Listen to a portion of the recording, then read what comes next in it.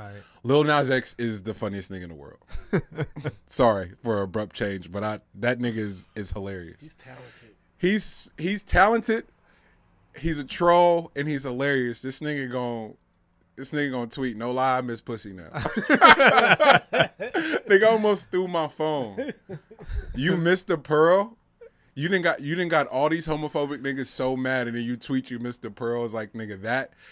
It's it's just like some some Larry David shit. Like it's some it's some it's some Jerrod Carmichael yeah. shit. It's like, bruh, this is trolling on a whole nother level, to where you like, y'all y'all niggas is weird for being this invested in the sexuality, especially somebody's own. So is he creating the brand around fluidity now? Is that what is is that was that what we trying to build for him? Is that is I- that what is he doing? I don't know what he got going on. I just I'm just invested as a fan Yo. because the nerve, the absolute nerve, bruh, to go to have to have like nick, niggas is going out their way. Vlad, Vlad Vlad and these other platforms have made a business structure out of having people come up and and voice their displeasure about Little Nas X. Like people go out of their way to go talk about him, so he's driving conversation.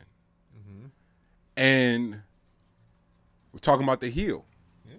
The business of being in the heel is big business. Yeah. Cause it's all cause it's all about impressions. And Oh, I'll let you finish the outside. in the in the spirit realm of impressions, I nigga, I don't y- y'all y'all talking about right or wrong. I just need you to be talking about it. Mm-hmm. Y'all talking about hate or love. Guess what? I just need you to be talking about it. I don't give a fuck what you the dis the like button, the dislike. YouTube, YouTube showed me that Yeah. Nigga got hundred thousand likes. 16 dislikes and lose his mind over the dislikes. Now you got a hundred thousand likes. What are you mad about the dislikes for? Oh.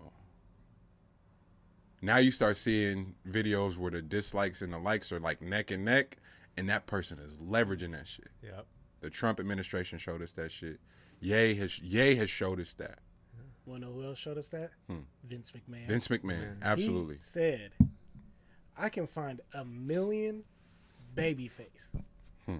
but it takes sometimes year for me to find one great heel. One great heel. Yeah. And he said that great heel in one, if I find him in one year, the things he will do for my industry is way more than any great baby face could do in six years. Bro. So crazy. It's a, it's a, it's a it's a insane business model, but it's so it's so synonymous with with uh, with American culture.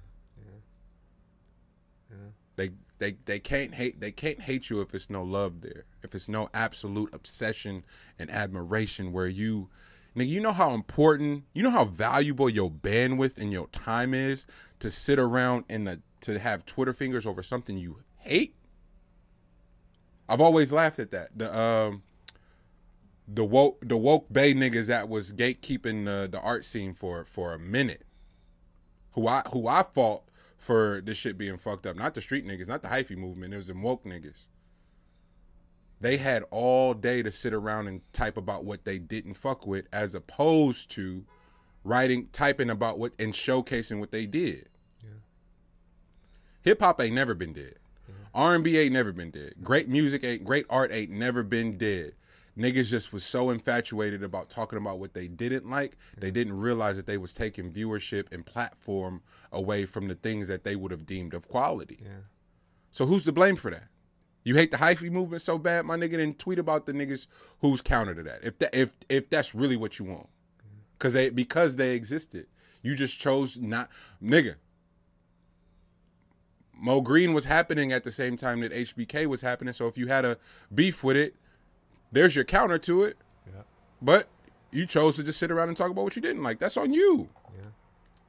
And the same thing is happening going forward. So when you see Lil Nas X come out and troll people behind shit that don't have nothing to do with nothing, Yeah. it's the it's the business model of the heel. Yeah. It, it's it's it's it's it's I just I find it funny. So no, then, no, I've, I, I think it's it, it it's wild, and yeah, the fact that people are able to now figure out ways to monetize on it, it just shows you that content is king. right. You got to keep making it. if you can remove your personal feelings from it Right. and do it, you it could be a win. And because people are going to bring their emotions to it, and the the best at doing it um, are able to recognize like any conversation is good for them. Right. Me personally, I don't know if I could do something like that, but I respect the hell out of creatives that can do it. That can take it there. yeah. Yeah, man.